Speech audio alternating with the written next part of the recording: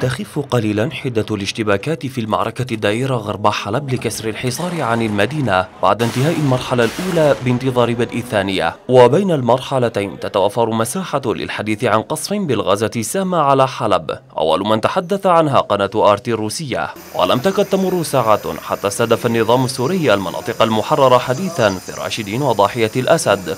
ما أسفر عن حالات اختناق. الاستهداف بالغازات لم يوقف التجهيز لاستكمال المعركة من داخل وخارج حلب. يا شباب حلب أروا الله عز وجل منكم خيرا. فإن العالم كله وخاصة العالم الإسلامي ينتظر هذه الملحمة الكبيرة.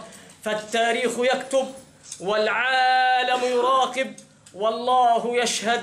فأروا الله عز وجل منكم خيرا وجزاكم الله خيرا.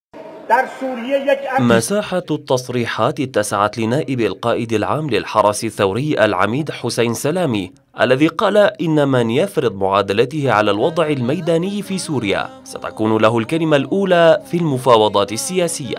مقتل عناصر الحرس الثوري وحزب الله لم يتوقف فبينما نعى الحزب عنصرين آخرين ليرتفع بذلك عدد قتلى خلال شهر إلى 31 أعلنت وسائل إعلام إيرانية مقتل الجنرال ذاكر حيدري بعد يوم من إعلان مصرع العميد محمد علي محمد حسيني. في زحمة هذه التطورات يجد ديمستورا وقتا ليقول على شيء يبرر قصف المناطق الآهلة على حد تعبيره معتبرا أن ذلك قد يرقى إلى جريمة حرب. بعد سقوط ثلاثة أشخاص في المناطق الخاضعة للنظام ضحايا القذائف الصاروخية.